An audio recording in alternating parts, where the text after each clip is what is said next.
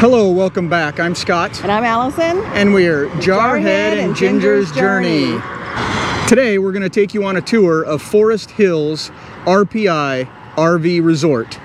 It also has a golf course. Come on.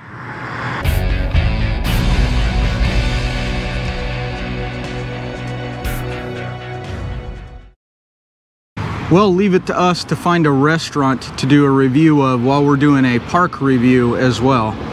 We're here at Izzo's off of the golf course at the RV resort here.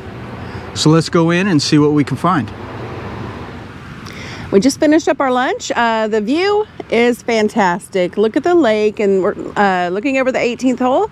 Um, my burger was a burger. It was all right. Nothing to write home about. How about your food? Mine was okay. The wings were okay. Um, the fries were like frozen fries or whatever. It, it's more like um, so, something that you'd whip up at home, you know, from out of the frozen aisle at the store. But uh, it was edible, and we actually got boxes to take it home. So that'll tell you something. Yeah. but we did have a decent view. As you can see behind us, we're on the, uh, well, this is the 18th hole of the golf course. I guess you can't tell that, but uh, it overlooks from the uh, restaurant itself. So that was kind of cool. Okay, we're coming up the hill to the entrance of the RV park, and there's actually two entrances. So if you're going east on 10, which is the direction we're heading now, you're going to try you're going to need to remember to take the first uh, entrance into the park or exit off of this highway and I'll show you why the speed limit on the highway here is 65 so coming off of this uh, you're going to have to brake pretty well. You can see in the distance there the Forest Hills Resort sign. This is the first entrance into the Forest Hills RV Park. This is the one you'll want to take if you're coming from the east. It's a whole lot easier.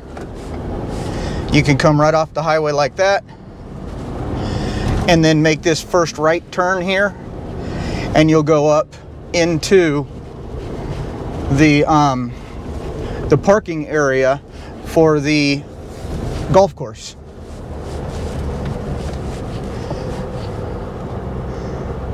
So you'd come around this way and then you'd head over to the right to go down to the office. If you miss that set that first um, turn, there is a second turn, and this is the turn my GPS actually took me to, but I do not recommend this turn, and I will show you why. Here's the turn coming off of I-10 if you're eastbound. This is the second turn, the one I, I would not take. It's a complete U-turn here coming off of I-10. And then once you come off of Highway 10, not I-10, Highway 10, you have to make this left turn, which is also more than a 90 degree turn. So you're gonna go two pretty sharp, hard turns in a row to get up here. And then once you get to the top of this hill, you would make a right turn to go towards where the office is, this direction. Here we are on the road that goes back towards the office. We completely missed this sign to the right here that says RV office check-in when we first got here. We were just looking for what we thought would be a normal RV uh, area with the gate and everything or whatever the case is. And it just wasn't that way. So when you come in with your RV, I would pull up here to where this sign right here that says RV sales office and park because to the left across the street is where the office is that you're going to have to go into and check in. Be aware of this office closes at 3 o'clock in the afternoon and you're supposed to be here prior to the 3 o'clock office closure to check in.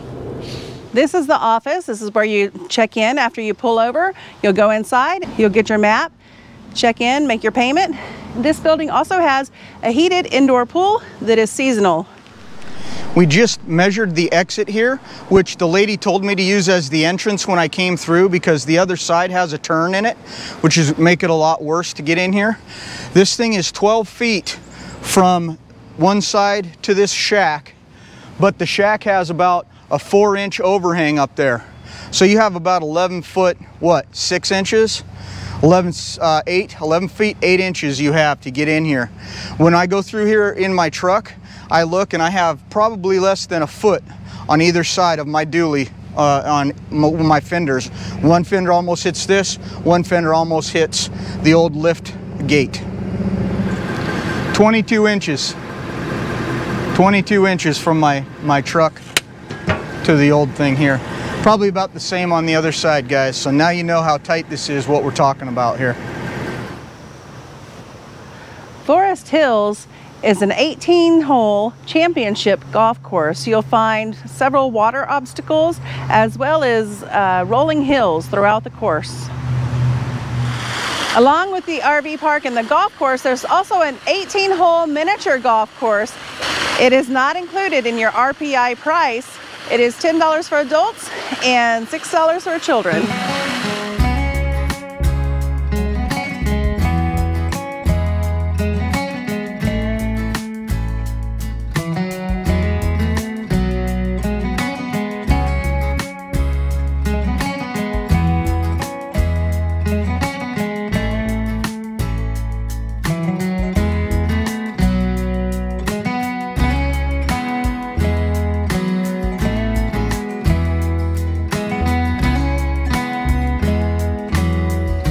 Some of the amenities include this public meeting area. We actually saw live music here going on the other night. This is the outdoor pool. It's very nice and clean and there is also a hot tub. There are laundry facilities and a clubhouse.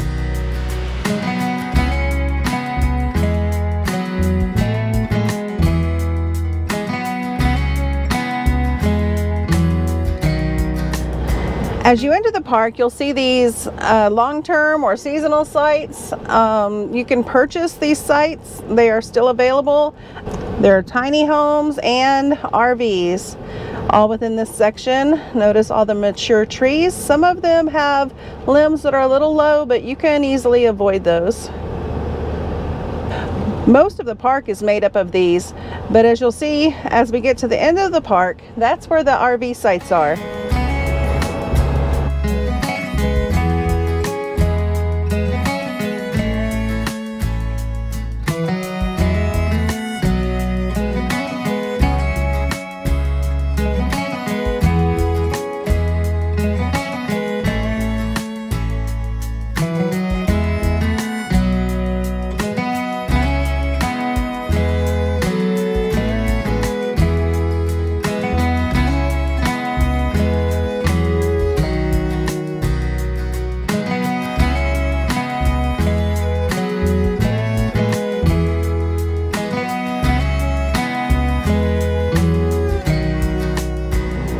You'll see down the hill that that is where the RV spots are. This is a new addition to the park.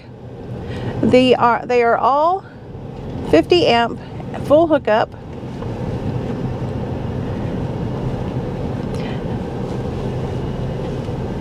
There's a limit to two pets per site and they must be on a leash at all times. They are still selling seasonal sites. So I don't know how many RV spots there are because that could change day to day. The golf course winds in and out throughout the park.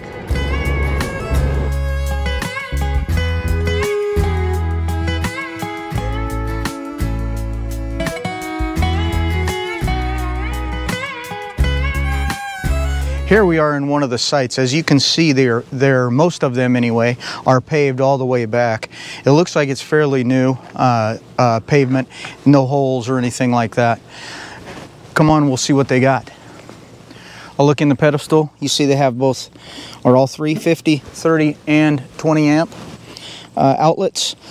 On our site, uh, we have had zero power issues at all here. We have the power watchdog on. It hasn't tripped one time, hasn't thrown a single uh, code yet. So that's a plus. Here's the dump. Why it's a foot off the ground, I'm not sure. But um, that could pose a little bit of issue with uh, the RVers out there. You are going to have to, you know, lift your hose up to drain the last bit out of it because that sucker's pretty tall. Next, come down here to the water. This one doesn't have it. Our site had, um, it looked like a, uh, a backflow preventer valve on it that was leaking. I called the park and told them they sent a plumber out that said it was my stuff, but it was current, it was obviously leaking out of the that backflow backflow preventer. So what I did was I was gonna try, I was gonna just take it off, but as I started to uh, turn it, it actually fixed the leak. So I fixed their stuff. I'll send them a bill maybe later.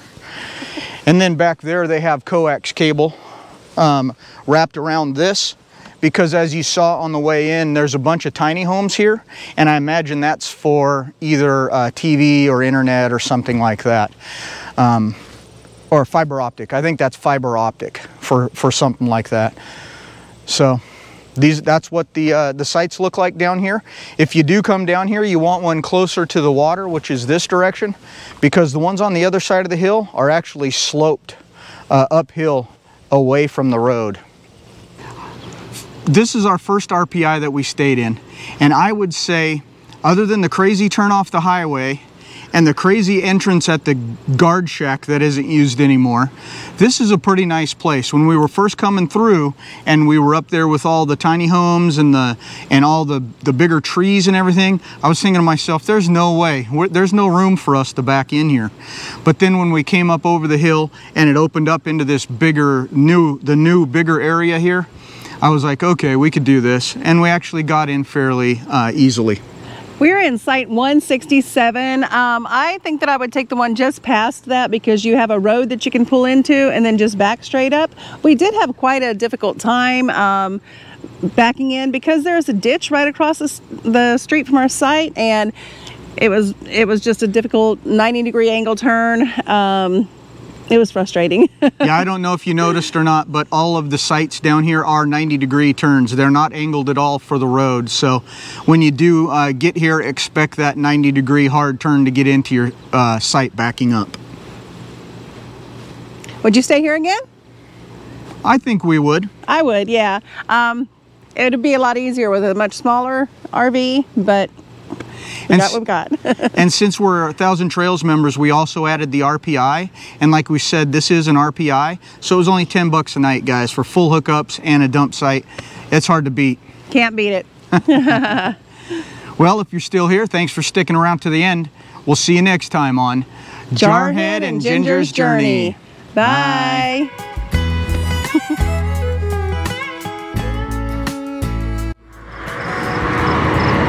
I don't know the name of it. Today we're going to take you a